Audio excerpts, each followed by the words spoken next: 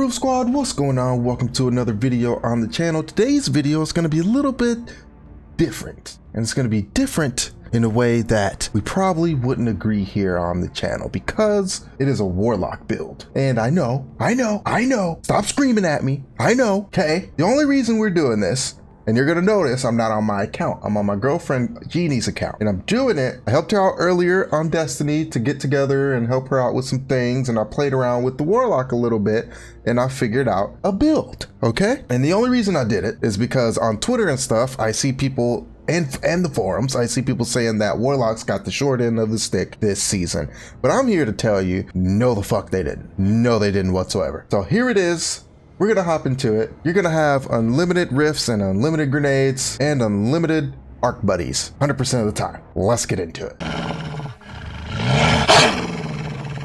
All right, so before getting into the build, I do want to let you guys know that uh, because her account, she's a very, fairly new player, so there are no real extra mods going into this, right? There's nothing extra that's making us, you know, charge with flight or anything like that that's giving us more stuff to buff this build. It's pretty much just flat out max recovery and the rest is literally just the subclass and the class, honestly. So uh, there's no extra mods that go into this whatsoever. So first off, the exotic that we're going to be using are the Getaway Artist Gauntlets and this reads as uh, we can convert your arc grenade into a arc soul and become amplified. The arc soul functions as an autonomous turret. So this is huge to fill the gap on getting our Arc Soul with our Rift, as well as just giving us a stronger Arc Soul and keeping us amplified as well. So these are very important to use in this build. So next, getting into the subclass, so we're going to be using Chaos Reach for the super, of course, just because it does the most damage. And we're going to be using Healing Rift, Burst Glide, Chain, Lightning, Melee, and Pulse Grenade. But of course, the grenade doesn't really matter because we are going to be using it to consume and get an Arc Buddy. For the aspects, we're we're using Arc Soul, so cast your Rift to create an Arc Soul that fires at targets in front of you.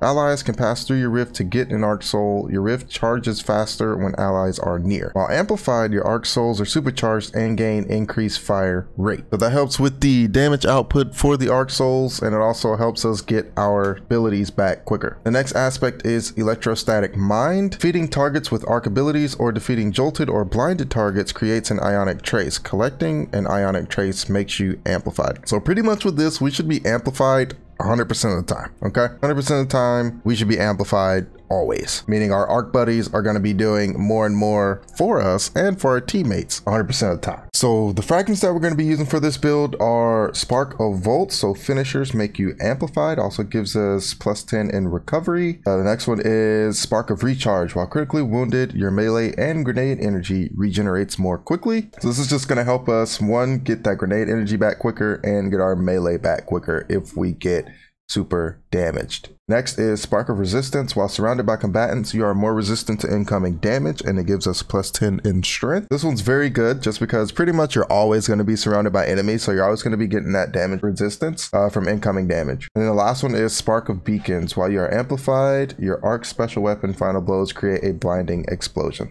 So if you guys want to put on a arc special weapon, it will go great with this. Like I said in my hunter video, I've been using Trinity Ghoul, so that works as well. So it'll just give off a blinding effect or a blinding explosion if you're amplified and you get kills with it. And that is pretty much everything that we are going to be using. That's the setup for the build, again, without mods. So you could definitely check mods, put mods on here to make it even stronger than it already is without them. But the play loop for this is pretty much going to be you're going to instantly pop a rift, get an arc buddy, get your teammates arc buddy or whatever. And you're just going to be getting kills while you have this, right? Getting kills, uh, using your melee ability, whatever, whatever.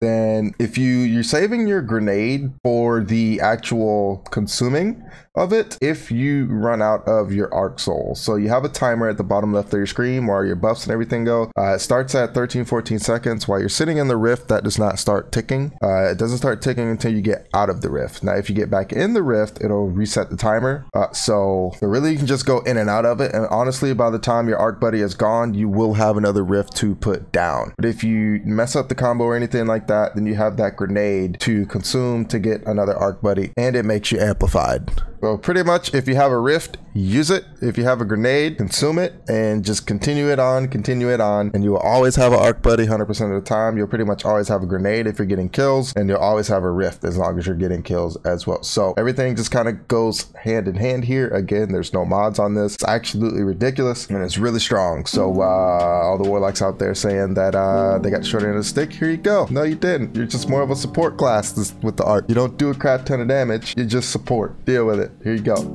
but that's going to be the video, man. Again, if you guys enjoyed it, hit the like button, hit subscribe button if you want to see more on the channel from me. But hope you guys have a fantastic day and I will see you next time.